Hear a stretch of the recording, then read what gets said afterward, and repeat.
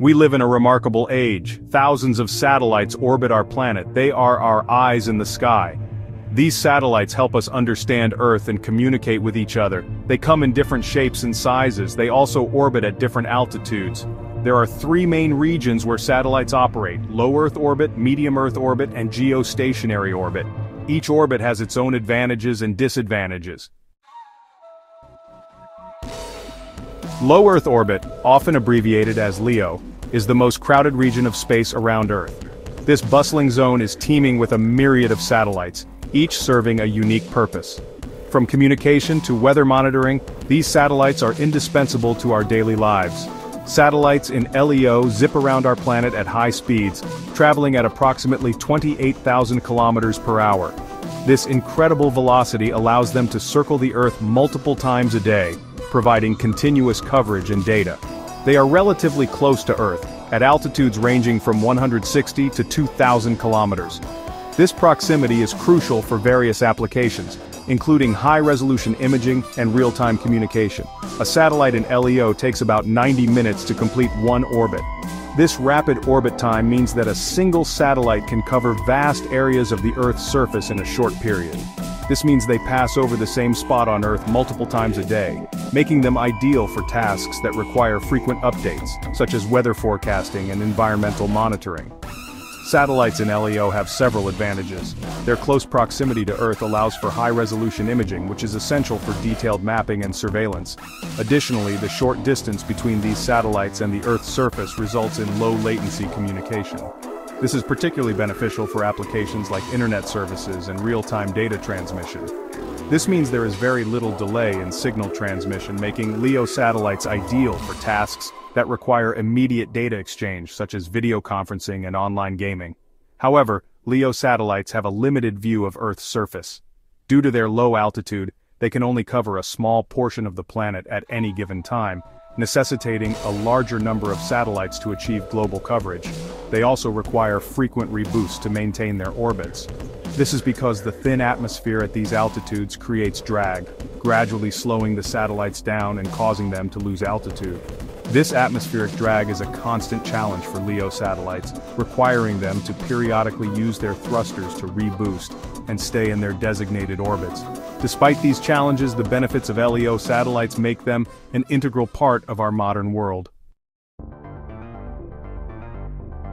Medium Earth orbit lies between LEO and GEO.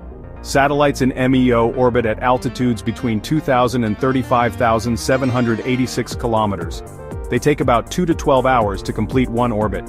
MEO is home to navigation satellites like those used in the Global Positioning System, or GPS.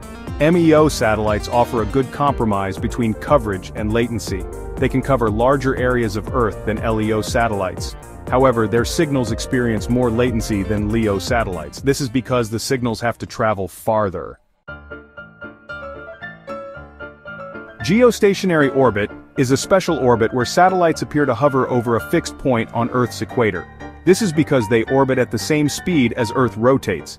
GEO is located at an altitude of about 35,786 kilometers. Satellites in GEO have a constant view of a large portion of Earth's surface. This makes them ideal for communication and weather monitoring. However, GEO satellites are expensive to launch and maintain. They also experience significant signal latency due to their distance from Earth. The International Space Station, often known as the ISS, is a marvel of engineering. This colossal structure, a testament to human ingenuity and international collaboration, floats gracefully above our planet. It is in fact, the largest human-made structure in space. Stretching across the sky, the ISS is about the size of a football field, making it a prominent feature in the night sky for those who know where to look. The ISS orbits Earth in low Earth orbit, or LEO, at an altitude of about 400 kilometers. This orbit allows it to circle the globe multiple times a day, providing a unique vantage point for observing our planet. It travels at a speed of approximately 28,000 kilometers per hour. At this incredible speed, the ISS experiences 16 sunrises and sunsets each day, offering breathtaking views to its inhabitants. This means it completes one orbit every 90 minutes. As it zips around the Earth, the ISS passes over different continents, oceans, and landscapes, providing a constantly changing view. The ISS serves as a microgravity laboratory and an observation platform. Inside, astronauts conduct experiments that are impossible to perform on Earth due to gravity. Astronauts from around the world live and work on the ISS. This international crew collaborates on scientific research fostering a spirit of unity and shared purpose. They conduct experiments in various fields including biology where they study the effects of microgravity on living organisms, physics where they explore fundamental questions about the universe and astronomy, observing celestial phenomena from a vantage point free of Earth's atmospheric interference. The ISS also provides valuable data on Earth's climate and environment. By monitoring changes in the atmosphere, oceans and land, the ISS helps scientists understand our planet better and develop strategies to protect it. The Hubble Space Telescope is one of the most iconic instruments in the history of astronomy. It orbits Earth in low Earth orbit at an altitude of about 547 kilometers. Hubble's location above Earth's atmosphere allows it to capture incredibly sharp images of distant galaxies, stars and planets. Hubble has revolutionized our understanding of the universe. It has provided stunning images of celestial objects. These images have helped scientists study the birth and death of stars, they have also helped scientists learn about the expansion of the universe.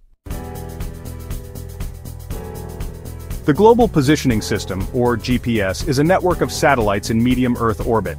These satellites provide location and time information to users on Earth. GPS is used in a wide range of applications including navigation, surveying, and mapping. GPS relies on a constellation of at least 24 satellites, these satellites are positioned in medium Earth orbit so that four satellites are always visible from any point on Earth. By receiving signals from these satellites, a GPS receiver can determine its precise location. Satellites have become an indispensable part of our modern world. They provide us with essential services. These services include communication, navigation, and Earth observation. The different orbital regions around Earth offer unique advantages and disadvantages for satellite operations. Understanding these characteristics is crucial for selecting the right orbit for a particular mission. As technology continues to advance, we can expect even more innovative uses for satellites in the future. Thank you for visiting Physics Around Us. Don't forget to subscribe.